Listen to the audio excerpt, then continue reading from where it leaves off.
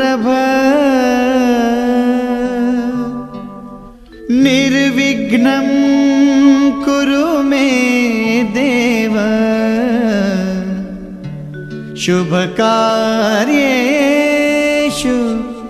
सर्वदा